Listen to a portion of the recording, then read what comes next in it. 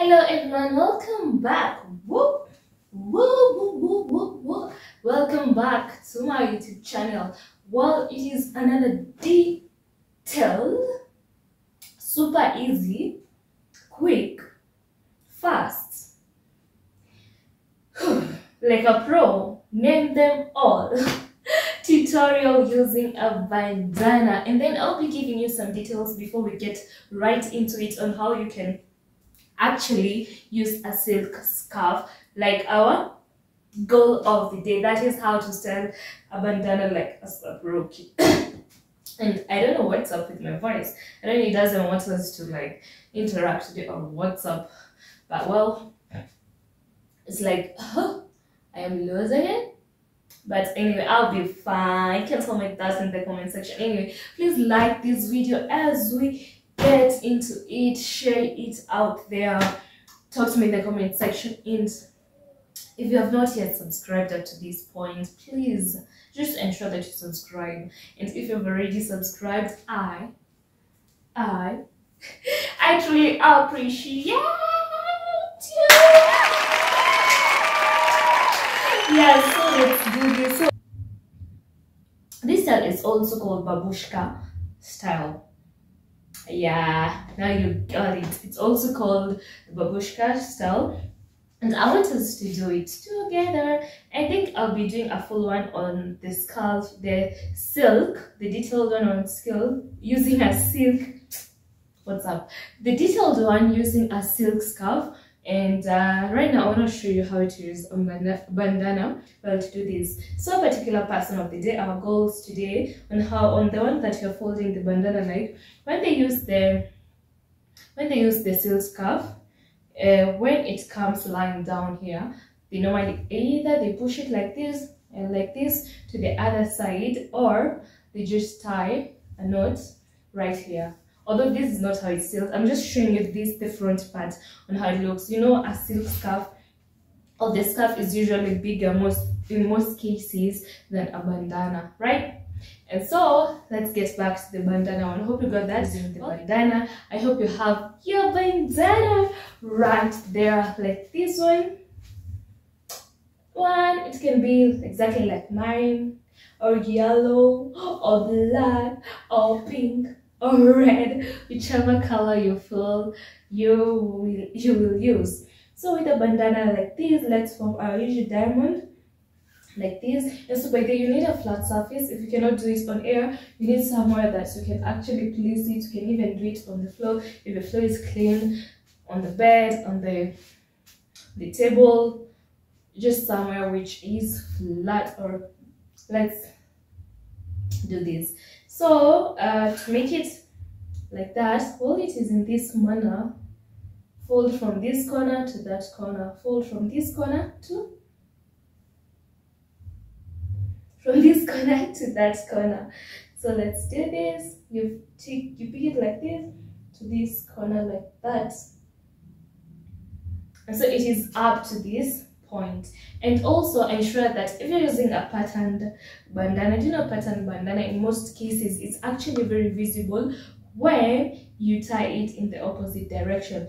That is there is this side which is the inside area and we have the outside area of the bandana and so make sure that when you're pulling it to the center you're using the center part that is the inner side to bring it towards this side and not the other way that is the opposite direction. Because you know you see i don't know if you can see it.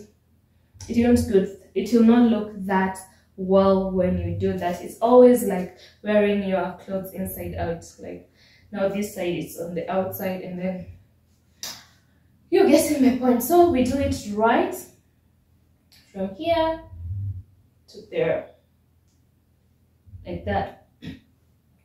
If you want to ensure that it's fully smooth you can uh, use an iron box to iron it iron iron it smoothen it here ensuring that well piga pasi it's the same thing. That is in Swahili language.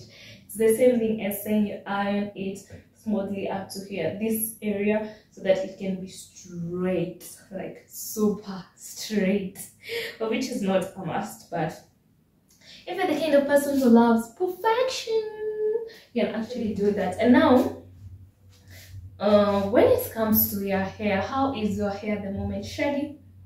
If it's shaggy you have to comb that hair or you have to do something about it to ensure that it lays down because when you place the bandana we don't want it to have like bumps or some things to be like protruding like you know understand? Like horns on your hair. And so ensure that you have held your hair well. It can be slightly at the back or at the center I'll just lay it down. Or if you want to drop it like mine uh-huh, Africanicity if you want to drop it like mine well. And so just make sure that your hair is well kept placed together in a nice orderly manner.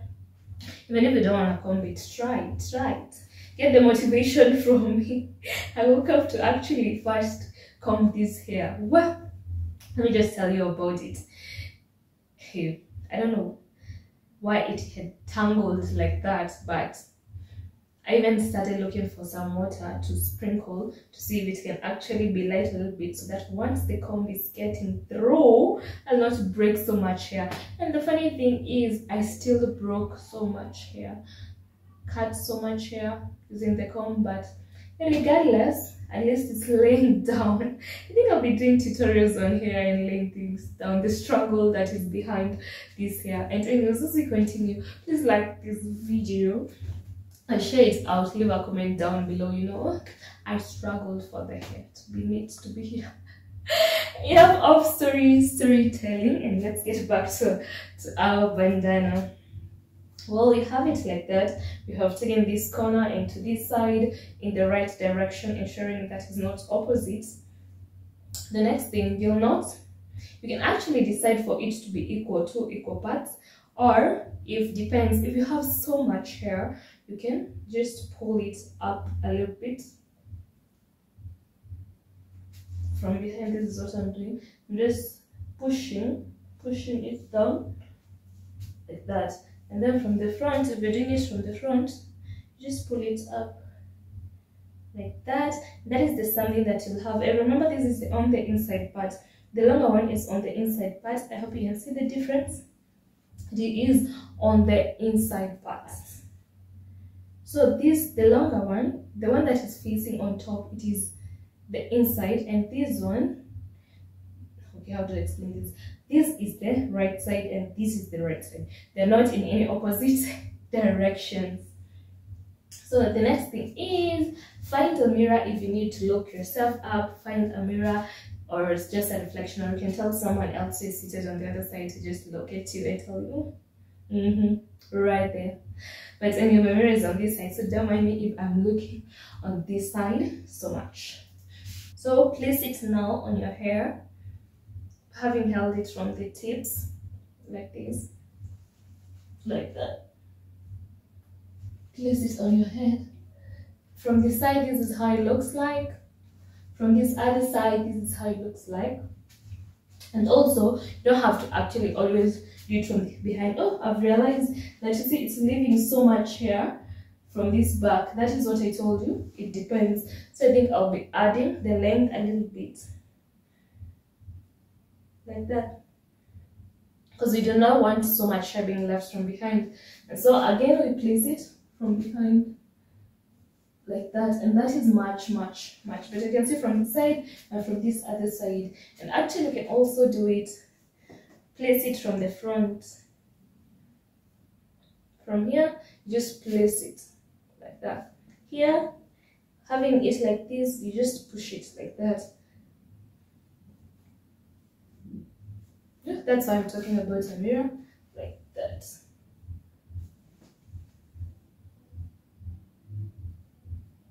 remember this is also called a babushka style it's all so the next thing is tying a knot I hope you know how to tie a knot. We have done so much on tying a knot, so you should actually check out my other videos. Whoop! Now it's time to tie that knot here down. And then you can do it, depends on how you feel it. You can choose to do like two knots and told you when it comes to the sail scarf because it's bigger that's why you do it like this like a scarf or just let the wings wings drop. Oh la la la. That is how it looks. Please make sure that you like this video share it out. Leave a comment down below. Tell a friend to tell a friend and make sure you check out my uploads